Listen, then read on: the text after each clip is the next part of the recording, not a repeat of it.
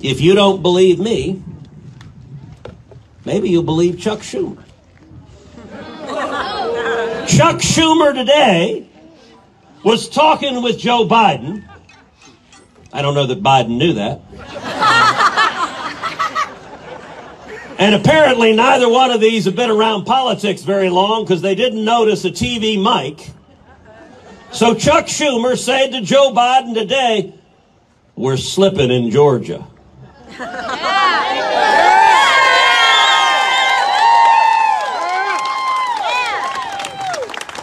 No, Chuck, you're not slipping. You done fell. The reason I'm here is real simple. The reason I'm here is the reason you're here, which is to stand with someone you know and someone you love, to stand with someone who is a fierce lover of America, to stand with my friend, Herschel Walker. Yeah.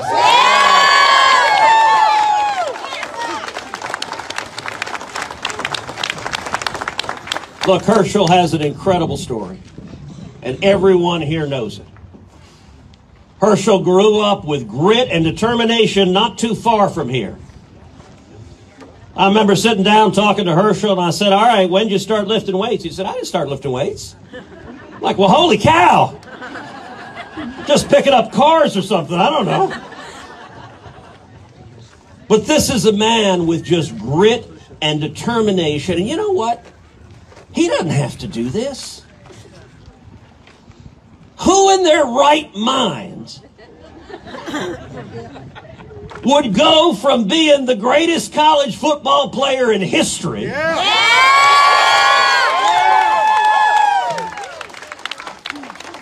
entering the lunacy of politics? Yeah, that's right. And let me answer that question.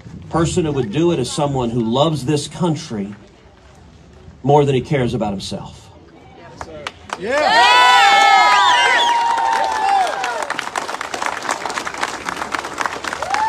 You want proof that Herschel's winning? Just turn on the TV and look at the Democrats and the media losing their mind. Coming after him with everything they got. Pretty soon you're going to be told that Herschel eats live kittens under a full moon at midnight. And that's ridiculous. Everyone knows kittens are breakfast food. Sorry, I may have lost you the PETA vote there.